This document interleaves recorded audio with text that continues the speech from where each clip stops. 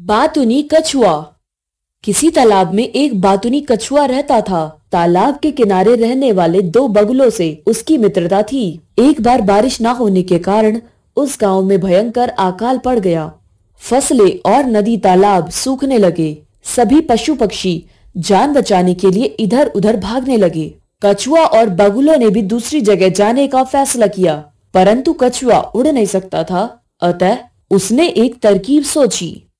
बगुलों ने अपनी चोच में लकड़ी की डंडी के दोनों सिरे दबा लिए और कछुए ने लकड़ी को बीच में से अपने मुँह में दबा लिया।